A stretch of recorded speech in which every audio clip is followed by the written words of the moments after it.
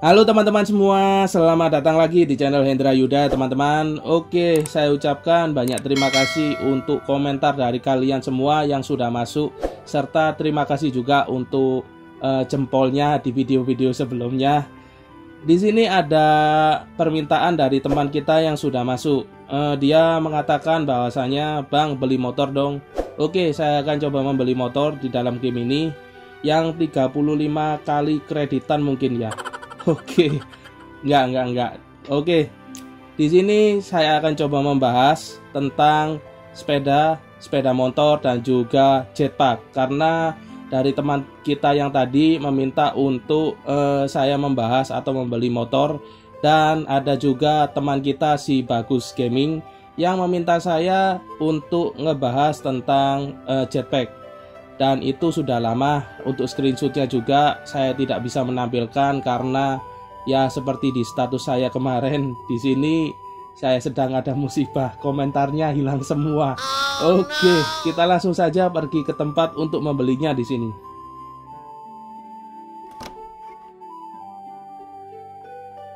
Oke, untuk ketiga item tersebut atau ketiga barang tersebut, teman-teman bisa mendapatkannya di toko sepeda dan saya juga sedikit bingung ya. Tulisannya sih di sini adalah toko sepeda, tapi kok jual motor ya sama jual jetpack. Oke, kita langsung saja pergi ke bawah ini ke area 4. Karena di sanalah toko sepeda tersebut ada. Nah, di sebelah sini nih.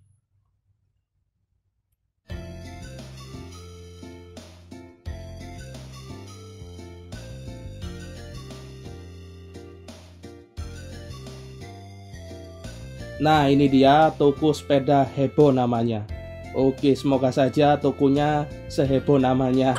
Oke kita coba masuk.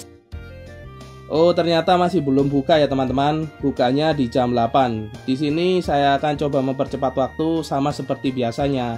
Saya akan coba pergi bekerja terlebih dahulu Biar nggak kelamaan juga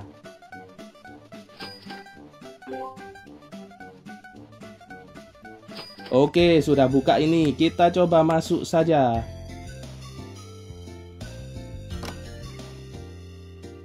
Nah, inilah dalaman tokonya. Di sini banyak sekali sepeda-sepeda dan juga ada uh, helmnya juga ini. Gak bisa dicuri ya ini ya. Oke, kita langsung berbicara saja ke kasir ini.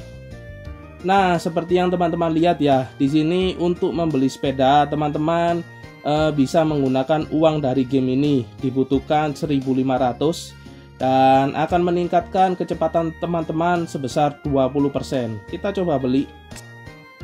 Kita pilih ya. Oke. Di sini ada tutorialnya. Kita silang saja. Oke kita keluar dulu. Karena sepeda ini tidak bisa teman-teman gunakan di saat di dalam ruangan. Nah di sini ketika di luar ruangan seperti ini uh, notifikasinya muncul ini kita coba kita coba jalan dulu ya teman-teman. Kita lihat kecepatannya seperti ini nih. Nah jika kita jika kita berjalan kecepatannya seperti tadi. Kita coba ganti. Nah ini dia tampilannya ini. Kita pakai helm bajunya juga berubah. Nah seperti inilah pokoknya. Kita coba kecepatannya seperti apa sih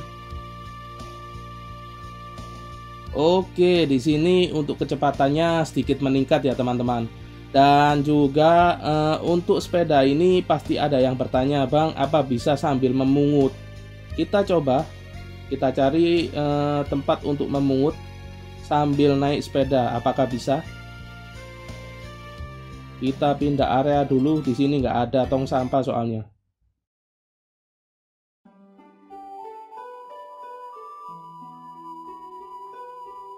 Nah, ini dia. Kita coba ambil. Oke, di sini walaupun teman-teman memakai sepeda, teman-teman tetap bisa mengambil uh, barang barang-barang yang berada di tong sampah sama seperti biasanya. Bisa bisa sambil mungut lah intinya. Oke, kita coba kembali ke toko sepeda lagi. Kita coba beli ya teman-teman untuk uh, sepeda motornya dan juga jetpacknya. Sambil nantinya kita coba.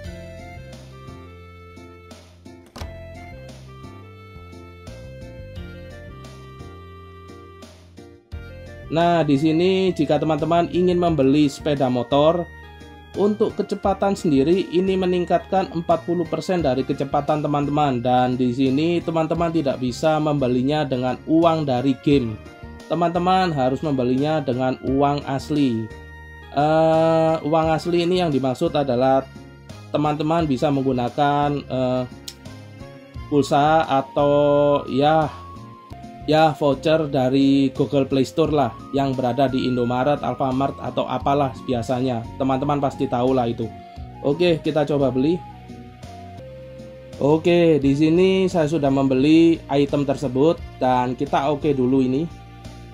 Dan kita coba keluar dulu ya teman-teman.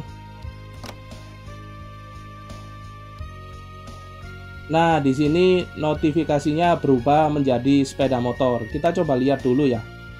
Oke, di sini berarti jika teman-teman ingin membeli sepeda motor, alangkah lebih baiknya teman-teman tidak membeli uh, sepeda biasa lah, karena di sini nggak ada notifikasi loh buat sepeda biasanya tadi. Jadi ya otomatis tertimpa lah. Oke, kita coba pakai ya. Oh, seperti ini nih tampilannya jika dari samping.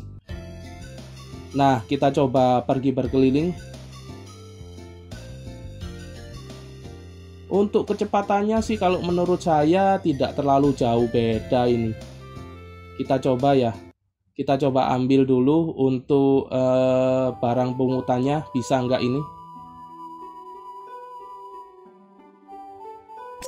Oke, ternyata masih bisa sama seperti tadi ya, seperti sepeda biasa.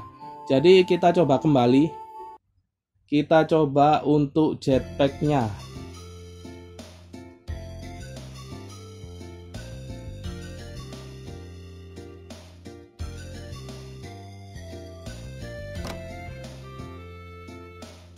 Oke, di sini ada notifikasi dari pembelian item dan semoga uh, game Indonesia bisa tetap maju. Oke, kita coba beli ya teman-teman untuk item berikutnya. Di sini untuk jetpack ini sama seperti sepeda motor dan teman-teman tidak bisa membelinya dengan uang dari game. Di sini harganya lumayan cukup mahal 42.000. Kita coba beli ya teman-teman. Oke, di sini saya sudah membeli jetpack juga ini. Kita coba di luar ini.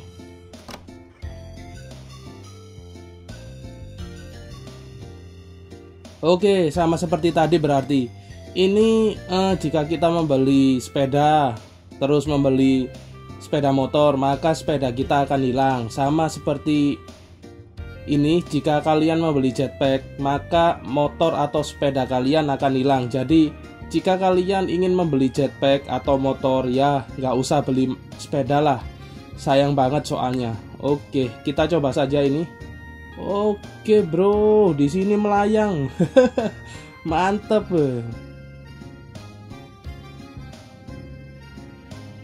Sangar bro. Wih kecepatannya lumayan cepet ini. Dibanding motor tadi nggak terlalu signifikan lah kenaikan kecepatannya ini Oke, kita coba mengambil barang.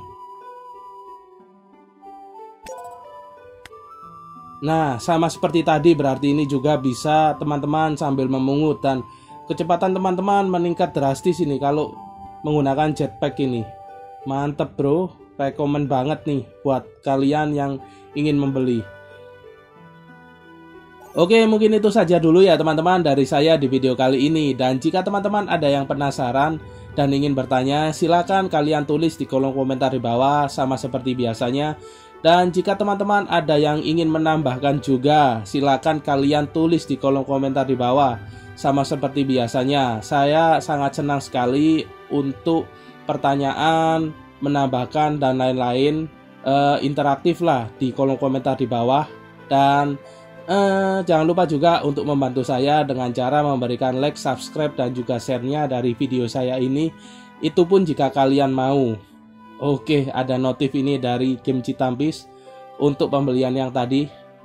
Dan akhir kata saya ucapkan banyak terima kasih untuk kalian semua yang sudah mau meluangkan waktunya melihat video saya ini. Dan saya mohon maaf jika ada salah-salah kata dari saya tetap di channel ini ya teman-teman. Sampai jumpa lagi di video saya berikutnya dan dadah.